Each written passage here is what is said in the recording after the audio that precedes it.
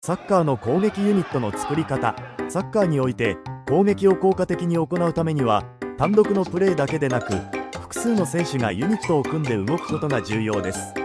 このユニットは選手同士の連携と意思疎通が鍵となり試合でより多くのチャンスを生み出す要素となります。攻撃ユニットの効果的な組み方について解説します。1攻撃ユニットの基本。攻撃ユニットは23人の選手が連携して相手の守備を崩すための戦術です。チーム全体が一斉に動くのは難しいため少人数でのユニットを作りそれぞれが連携して攻撃を仕掛けることで守備を突破しやすくなります。意思疎通の重要性ユニットを作る前に選手同士が意思疎通を図り動くタイミングやスペースの使い方を事前に理解しておくことが必要です。これにより効果的な動きが実現します。23つの重要なポイントユニットを効果的に機能させるためには次の3つのポイントを押さえる必要があります。1意思疎通と関係構築。ユニットを組む際は選手同士で常にコミュニケーションをとり互いにどのように動くかを把握しておくことが大切です。これにより状況に応じた柔軟なプレーが可能になります。2スペースの活用1人の選手が動き出すことで生まれるスペースを別の選手がタイミングよく活用する動きが求められます。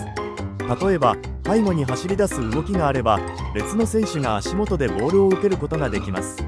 3背後のスペースを狙う。攻撃の際ディフェンスラインの裏を狙う動きは非常に効果的です。ディフェンスにとって最も脅威となるため相手の守備を乱すことができ次の攻撃チャンスを生み出すことができます。3実際のユニットの動き動きの例として背後を狙うアタッカーとそのスペースを活用するセカンドアタッカーの連携を紹介しています。この連携によって相手ディフェンスラインを崩し得点機会を増やすことができるとされています。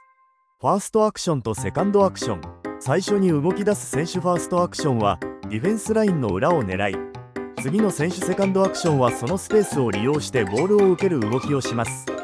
結論攻撃ユニットはサッカーの戦術において重要な要素であり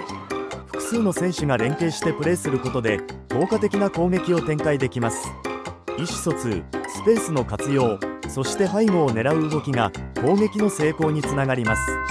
これらを踏まえ試合での戦術に取り入れていくことでより多くのチャンスを生み出すことができるでしょう。